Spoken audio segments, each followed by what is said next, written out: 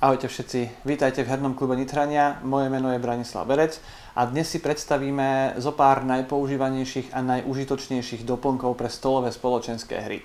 Tým kritériom, ktoré určuje to, či sme ten doplnok do zoznamu zaradili alebo nie, je to, či ho používame e, v každej alebo vo veľkej väčšine hier a samozrejme tie doplnky musia byť e, dostupné širokému, spektru, širokému spektru hráčov a ľudí.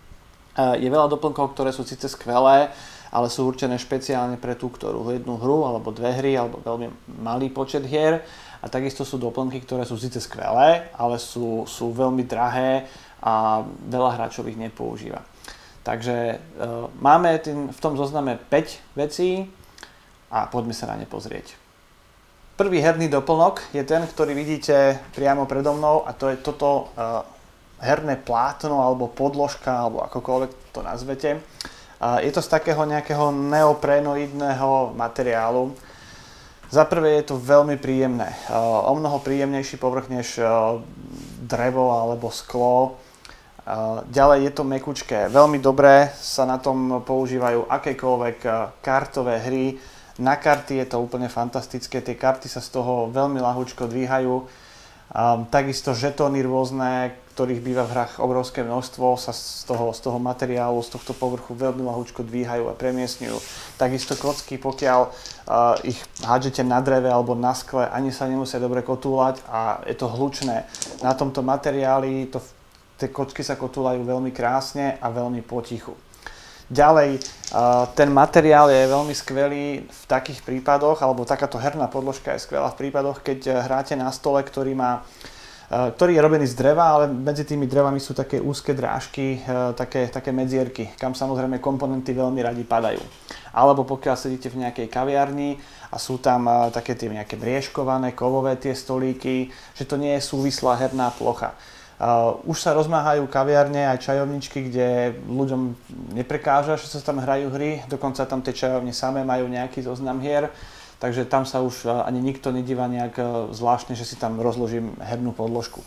Tie podložky sú totiž to v rôznych veľkostiach, od, od takýchto maličkých, ktoré sú výborné na akékoľvek malé hry. Na tejto jednej napríklad si bez problémov zahráte Century Cesta korenia, všetko sa to zmestí na, na takúto jednu podložku ktorú môžete kdekoľvek kaviarni krásne rozložiť, až po plátna, ktoré je tu podobňou, ktoré má veľkosť 6x4 eh, stopy, čiže nech to je nejakých 1,80 m x 1,20 m, ktoré už rozložíte aj na veľký stôl. Dajú sa bez problémov zohnať aj na Slovensku v Čechách. Zadajte si herná podložka alebo game mat, game mat, eh, čo je teda anglický výraz na, na hernú podložku a určite nejakú z nich nájdete. Keď už sme spomínali tie karty, tak e, druhým doplnkom, veľmi často používaným a veľmi užitočným sú obaly na karty. Tie obaly samozrejme chránia karty pred e, poškodením, ale aj pre, pred opotrebením. E, ja tu mám dve karty zo 7 divov sveta. Jedna z nich je pre hru troch hráčov, druhá až pre 7. Samozrejme v hre 7 hráčov to, to málo kedy používa. Na tejto, eh, na tejto jednej je vidieť eh, po stranách, že už je dosť opotrebená aj, aj z druhej strany. Je pravda, že má za sebou asi stovku hier a je to na tej karte cítiť. Na druhej strane v tej draftovacej hre 7 divov sveta to až tak veľmi nevadí, ale je to proste cítiť. Mám kamarátov, ktorí majú, ktorí majú jednu hru Lewis and Clark, vynikajúca hra, hrávali sme ju veľmi často a najmä v lete, ak sú spotené prsty a ak tí hráči proste tie karty majú v ruke a stále sledujú a pozerajú, čo by z toho zahrali, tak e, sa opotrebujú veľmi rýchlo a jedna sada je tak opotrebovaná pre jedného hráča, že prakticky už vrch tých kariet je takmer nečitateľný. Čiže tie, tie obaly chránia nielen pred poškodením, ale aj pred e, opotrebením tých kariet. Teraz otázka je, či baliť všetky karty, všetky hry alebo nie. Môj názor je, že pre nás väčšinu určite áno, ale všetky asi nie. My máme veľa hier, ktoré máme v klubovni, e, takže hrá s, tým, hrá s tými kartami ktokoľvek e, na, na tých stoloch. Balíme mnoho kariet, mnoho hier, ale určite nie všetky. E, napríklad Fallout, ktorý sme nedávno, pre ktorý sme robili aj návod.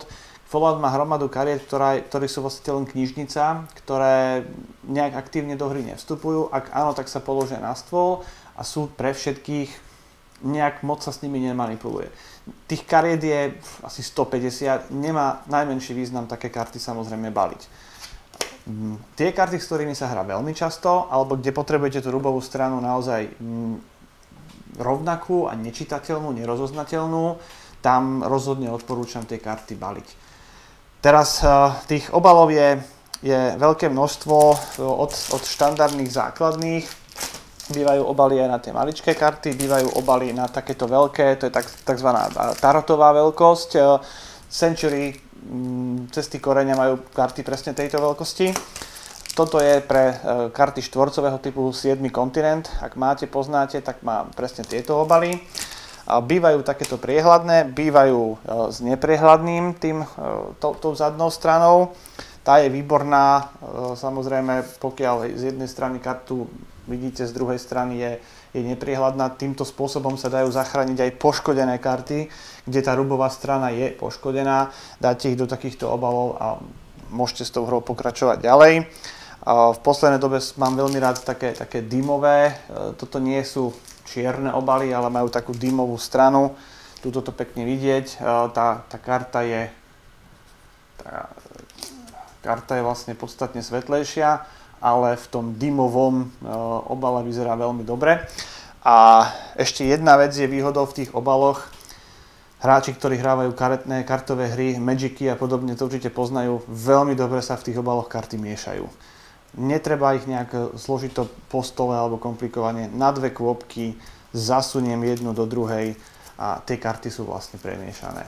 Prehodím párkrát, znova ich e, vsuniem jednu do druhej.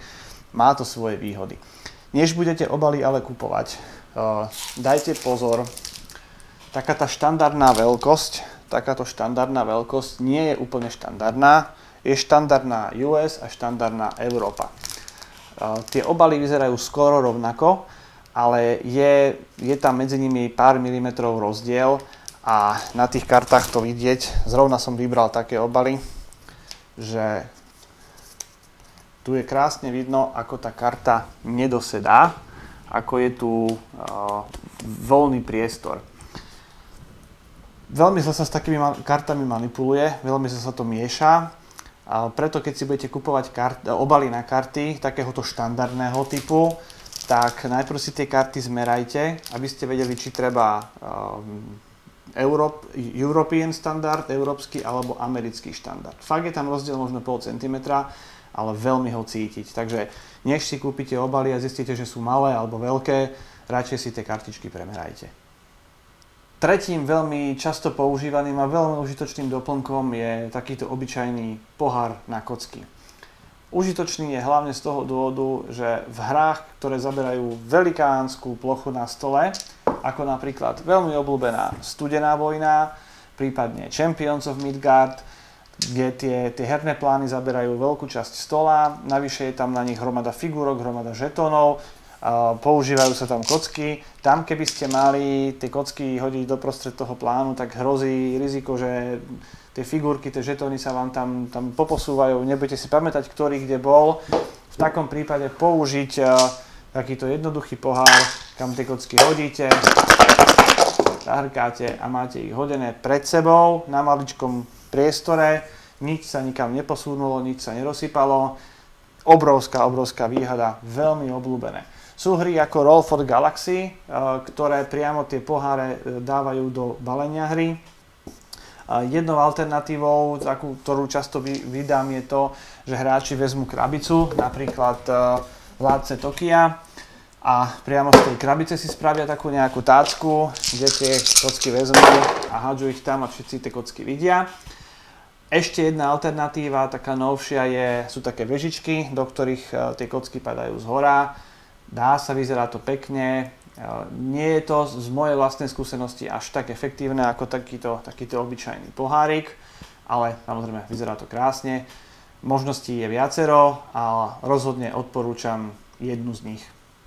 Štvrtý doplnok, ktorý si spomenieme, sú krabičky a organizéry, bez ktorých si naozaj ja osobne už neviem predstaviť prakticky takmer žiadnu svoju hru.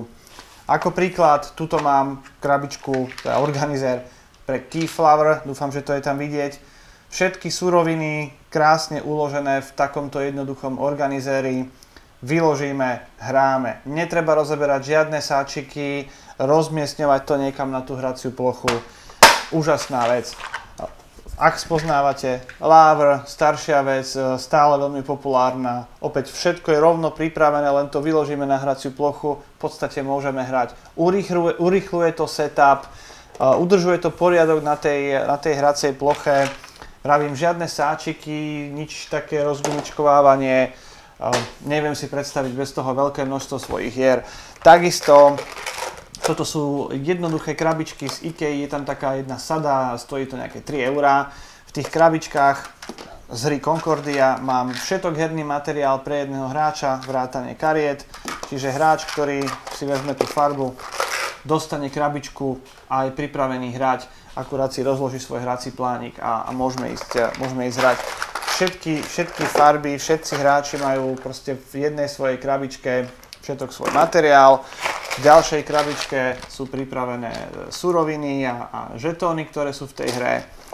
Veľmi lacný, veľmi e, jednoduchý spôsob. Tie krabičky sa dajú nájsť, ako vravím, toto je taká jedna sada z IKEA. Má tam e, viacero krabičiek tak, takéhoto väčšieho rozmeru, takéto podlhovasté a ešte menšie štvorcové. Sú tam nejaké väčšie, môžete ich využiť v kuchyni alebo aj neviem, kdekoľvek. Um, takéto organizéry e, dajú sa kúpiť v tých takých obchodoch pre domácich kutilov, ako je Obi, Hornbach, ale teraz som objavil, že vlastne obrovské množstvo a veľký výber je v rybárskych potrebách. Stojí to pár drobných, stojí to 2, 3, 4 eur najviac.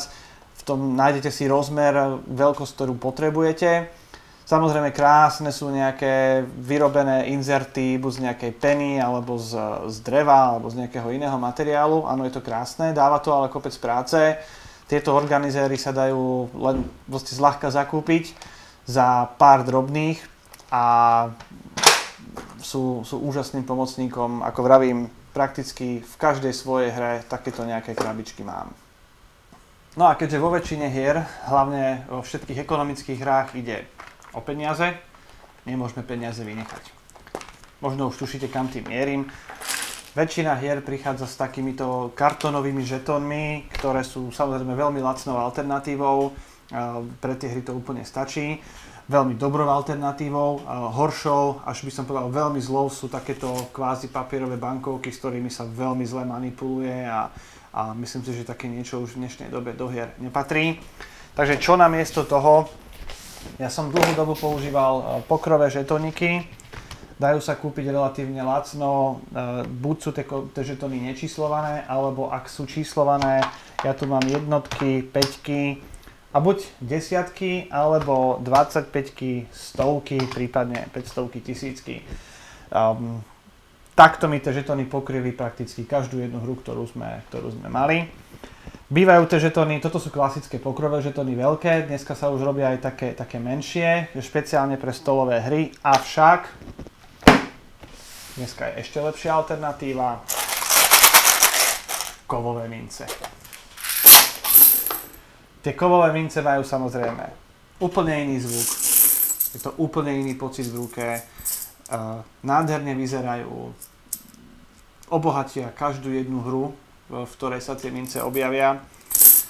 Stačia vám, e, stačí vám nejaká jedna sada, dajú sa zohnať aj v, na, v Čechách na Slovensku, pokiaľ nie, nájdete ich niekde na zahraničných serveroch.